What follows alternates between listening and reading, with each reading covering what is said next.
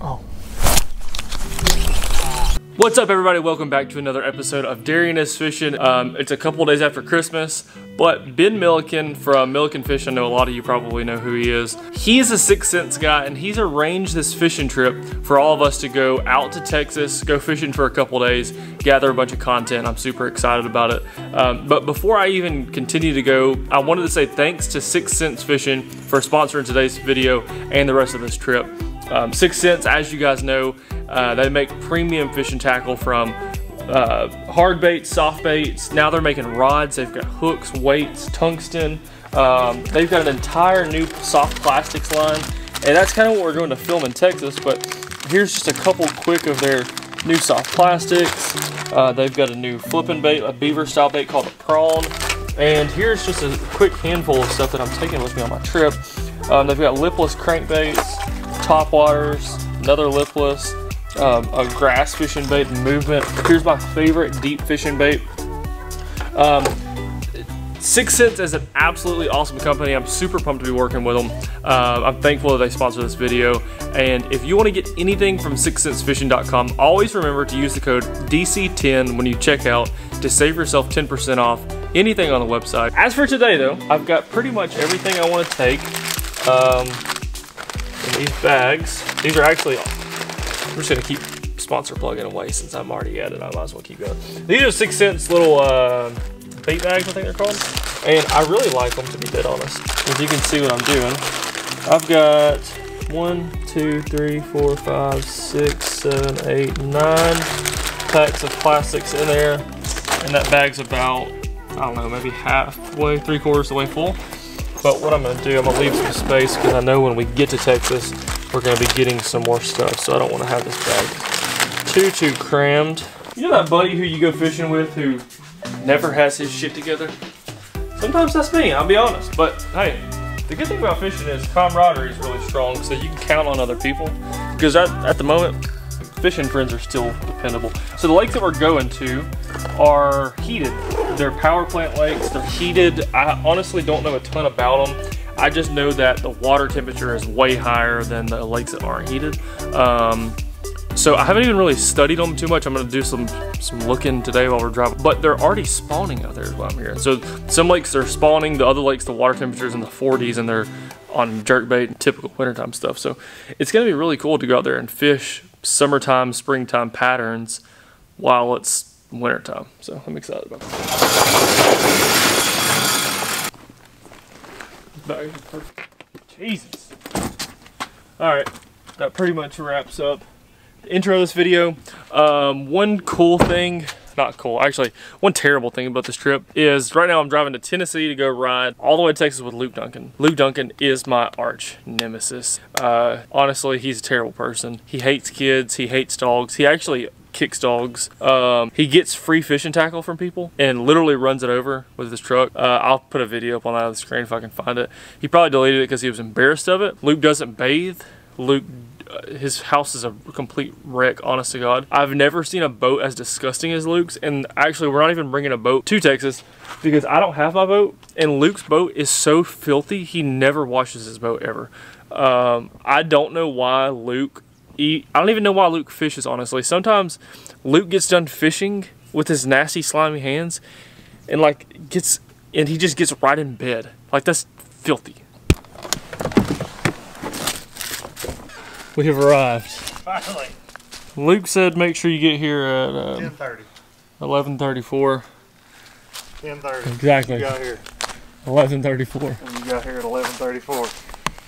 All right, so those of you who don't uh, follow me on Instagram don't really know the feud between between me and Luke. Yeah. In my truck. Are you packed up and ready? Oh, I figured you are. You throwing your rods in the back? Savage.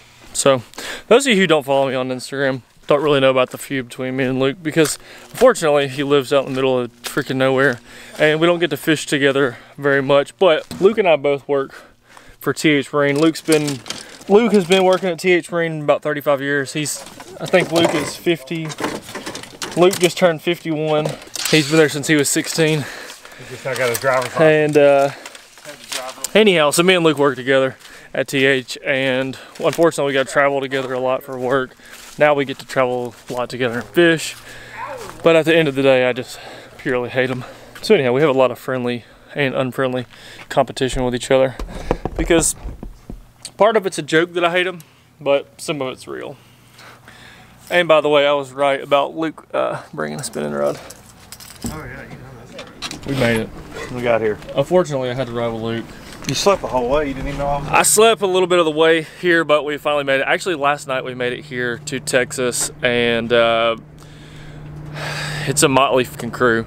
okay, hold on, hold on. No, no, no, let me back that back up. It's a motley crew that I'm with. Uh, First off, y'all are gonna get to know Captain Ron very well. Captain Ron, one of the most popular people on the trip. There's Lo- no T, it's Cap N. Captain Oh, Captain. Ron. There's a There is lot to learn T. about about Ron. He told some stories actually about this very parking lot that we're in that we can't share on the channel. Until about 3 o'clock in the morning. Yeah, yeah, and the, yeah. So Alarm clock went off at five. Though I'd like to remind everybody it's not here. Alarm clock went off at five. We shouldn't have gone to bed, but we persevered. We got up. We're here. yeah, Here we go. yeah. So here we are. We're in Texas. Ben Milliken, Luke Dunkin, Captain Ron. Your Lake Fork Guide, and some guys from 6th Sense. They're doing their own thing. They haven't even came over and talked to us this morning, but we're about to get after it. Um, one thing we're doing on this trip, everybody here is a 6th Sense guy, um, so we're doing these challenges with the 6th Sense bag today. For sure, a challenge Darien's gonna lose. We'll figure that out later. See you guys on the water.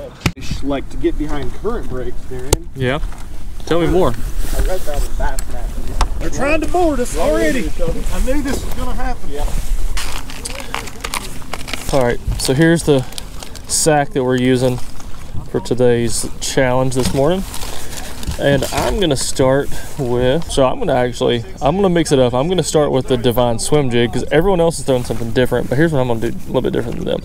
I wanna fish it slower, fish on the bottom. I'm not gonna swim it like I normally would, but I'm gonna put a shad color, this is the new Divine Swim Bait, but it's the bigger one. It's the 4.4. Um, we haven't, I, I haven't ever seen this one yet. It's newer.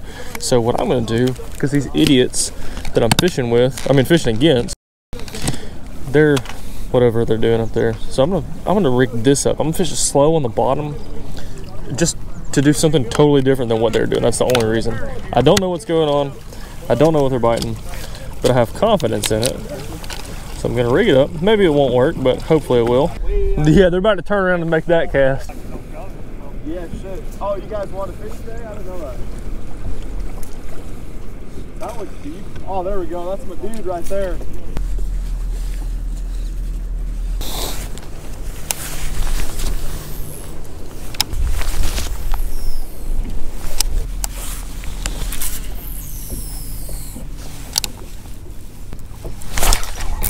That'll pay. Take it. Hey Luke!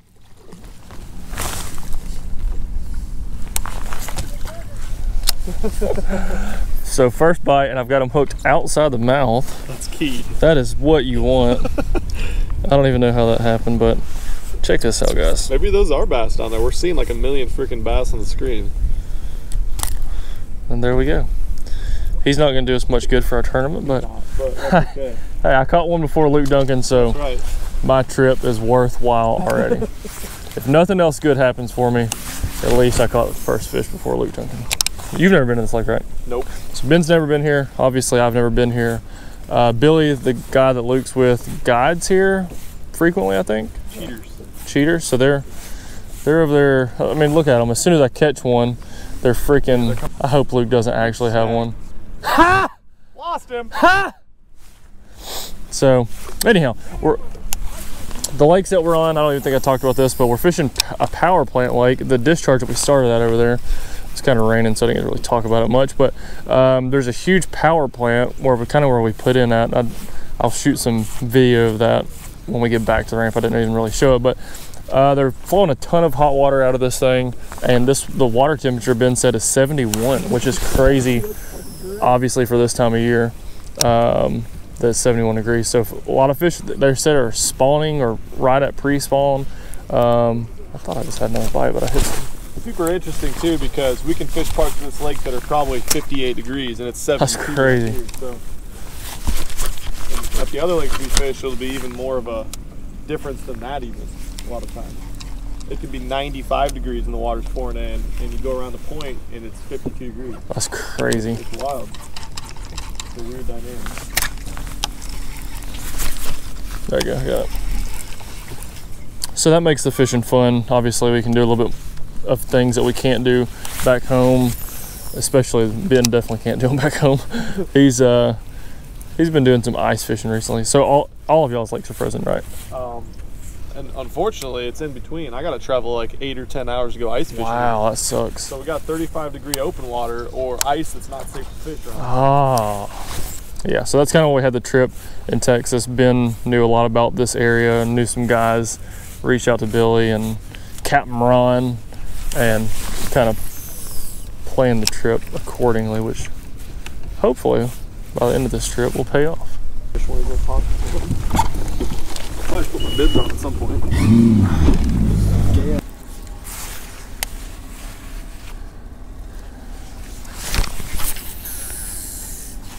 Billy hooked one of them gar tails. Oh, oh God. Oh God. Oh God. Oh Jesus. Dude, I just kicked this and it turned into a damn bomb. was like that elephant toothpaste. I just ruined a man's monster, spilled it all over everything. You better be glad that's on there. Gee, are you rolling? Welcome. Oh God. Welcome to. Now our boat smells like garnitine or whatever that is. It smells good. I could reel that fish in. Oh yeah. Oh yeah. Oh. Right at the boat. I don't know if that was He lost one right at the boat. No. Yeah, six. We're throwing it back anyway. So what I'm gonna do, Do a little bait to it right I'm gonna rig up a Texas rigged. Uh, I'm just gonna. That's a good call, man. yeah, I'm gonna Texas rig this clout worm. They're not biting it good. I just got a feeling maybe that'll be a good swap up. All right, so here's the jugular hook out of our out of our bag. Maybe if we can catch one on it, we can eliminate that. Or if we catch one on it, we can put a pattern together and go catch some big ones on it. I think this is gonna be actually a really good color. Green pumpkin burst, clout worm. I'm not gonna peg it. I've talked about that in some of my other videos, but when I'm pick it, pit, picking, when I'm pitching around a stick worm, Senko or a Zoom makes a Magnum finesse worm that's really good. When it, the bite is weird, whether it's in the dead heat of the my favorite time to do is in the dead heat of the summer, but I will go no peg, Texas rig, just pitch it around, fish it slow, hop it a whole bunch. Sometimes they'd be jumping on it.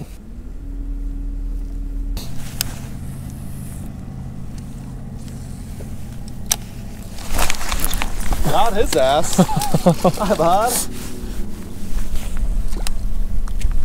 Biggins only. Big ones only. I was trying to reel up and pitch into yours, and I freaking had one. yours looked like it was right on that little inside edge.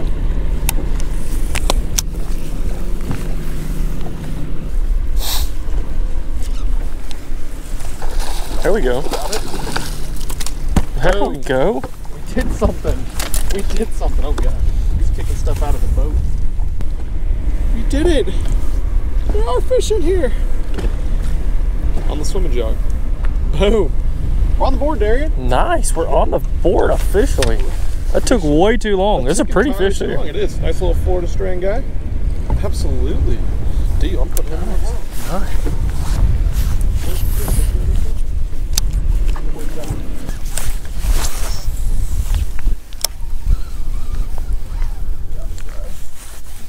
we go.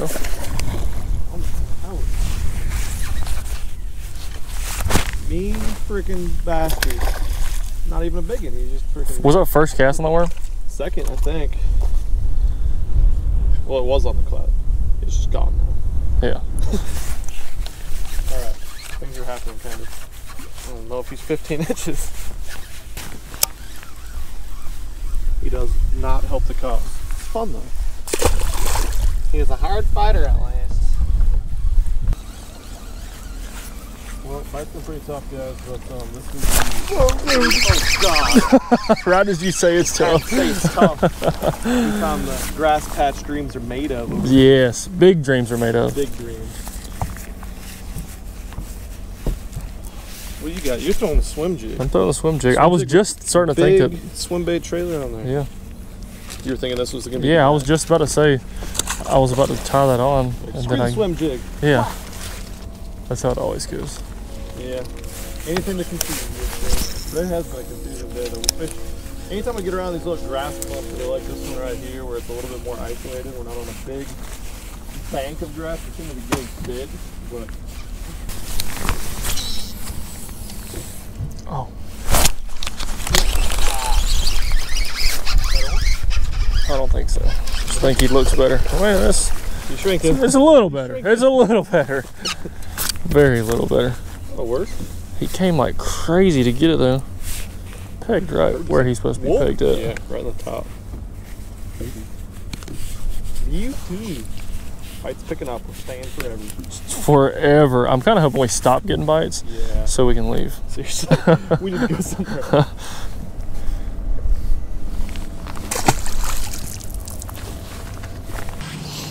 We've met back up with Team Dumber and Dumber. And uh, unfortunately for us, well, we're going to see how this ends here in a second. But I think we got hosed. I think we got hosed, honestly. Apparently, it's a 14 inch length limit. By Team not Yeah. Dumber, you mean Team Victorious? Is that what you mean? Yeah. Whatever. You mean don't know the rules or? Well, either one. But we'll see how this goes. Well, y'all, y'all stick along for this. We tend to obey all state laws, okay, guys? It says 14 inches, so that's what we did. Okay. Yeah.